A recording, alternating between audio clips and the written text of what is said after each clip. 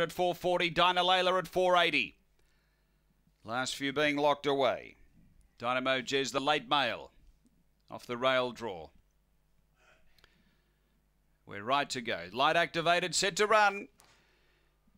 The third, we're ready.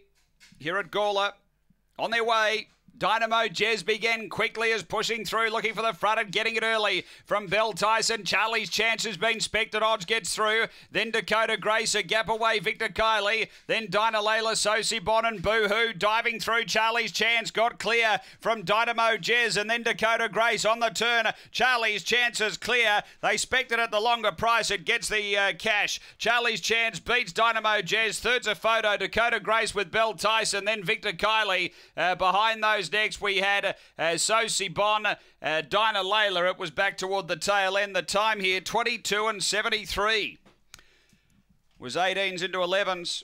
Uh, Charlie's chance and uh, was able to drive the rail and has been too good. Number two,